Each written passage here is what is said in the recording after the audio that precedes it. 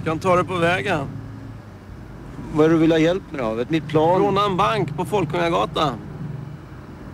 Är inte det ganska olagligt? Är du religiös? Nej, men jag är uppvuxen i Danderyd va? Du, hör på mig nu ett slag va. Jag är inte riktigt den du tror att jag är. För två år sedan, va, då satt jag inte och körde taxi precis. Jag var busschaufför. Oj. Jag hade fru, barn och en kåk för 1,9 miljoner.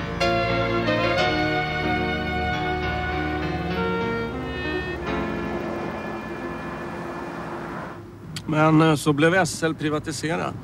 Och de nya ägarna de ville spara så de sparkade chaufförerna men behöll bussarna. Min fru hon träffade en moderat och gjorde likadant. Hon sparkade mig men behöll kåken. Så nu sitter jag här i en lånad taxi som jag sover i om nätterna. Och med en skuld på 1,9 miljoner. Jobbigt. Och dyrt. Jag har amorteringar på 38 000 i månaden. För någonting som numera disponeras av min gamla fru och som ägs av banken där hennes nya man sitter i styrelsen. Nej, något egentligt rån är det inte tal om. Jag tänker bara göra ett våldsamt uttag på 1,9 miljoner för att bli fri en skuld som inte längre är min.